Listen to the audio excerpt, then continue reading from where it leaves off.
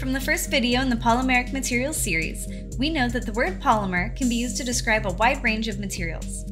From the rubber tires on our cars, to the nylon fibers making up the carpets in our homes, and the Teflon coating on our nonstick pans. They are lightweight materials that can be formed into a variety of different shapes and will never rust. While these materials can appear to be quite different from each other, on the molecular level, they have something in common. They are macromolecules, which are very long molecules made up of repeating units called monomers. Depending on how these large molecules react when processed, they can be considered thermoplastics or thermosets. In the second installment of the series, we'll discuss that important distinction.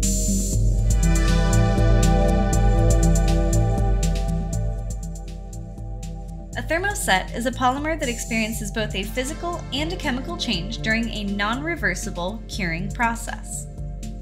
Thermosets start out as low molecular weight compounds, which allow for low pressure processing due to low viscosity of the material. Then, they cross-link to form a matrix, which is essentially one large macromolecule. An example of this is epoxy resin, which starts out as two liquids. When they are mixed, they react and cure to create a hard, glassy solid. Thermosets can either be rubber, with a glass transition temperature below ambient temperature, or plastic, with a glass transition temperature above ambient temperature. In this video, we'll be focusing on thermoset plastics. Thermosets get their strength, excellent creep resistance, compression set resistance, and other properties from cross-linking. Thermosets are more resistant to heat, chemicals, and dimensional changes than comparable thermoplastics, and their flammability is lower than many thermoplastics. They typically have higher hardness, stiffness, and compression strength than thermoplastics, with the disadvantage that they might shatter when under compression. They can tolerate higher filler loading than thermoplastics due to the low viscosity of the monomers, which allows for long fiber length reinforcements. This is an important advantage because longer fiber lengths can support more of the load that is placed on the part, thus increasing the part's modulus, strength, and impact resistance. Drawbacks include long cycle times and secondary operations such as post-curing and trimming of flash. These can increase production costs. Many joining techniques that work with thermoplastics do not work with thermosets because they cannot easily be remelted. Therefore, joining techniques are limited to mechanical joints and adhesives. There are also health concerns associated with handling raw materials and thermoset parts are more brittle when compared to thermoplastics and less flexible due to cross-linking.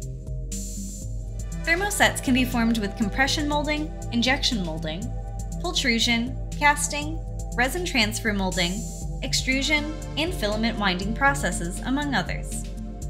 Common examples of thermoset plastic parts include Corian countertops, fiberglass bathtubs and boat hulls, binders and adhesives such as in plywood, insulating foams, and electrical insulators.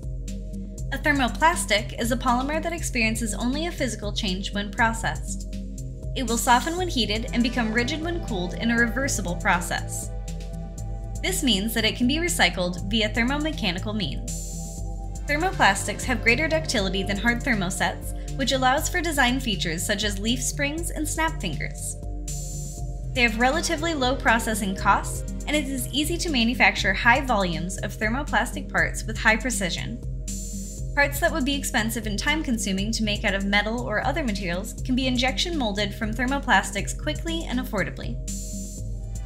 These parts are easy to decorate with in-mold labels or paints, and join to other parts with adhesives, ultrasonic welding, spin welding, solvent welding, and other methods.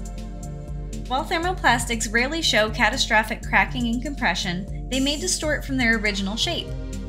Examples include flattening of appliance casters or loss of interference with a mating part.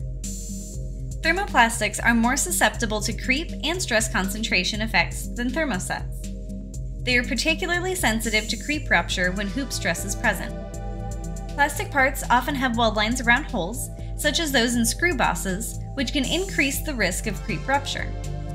Longitudinal cracks along plastic pen caps and cracks and screw bosses that occur when flathead screws are used to assemble plastic parts are examples of this type of failure.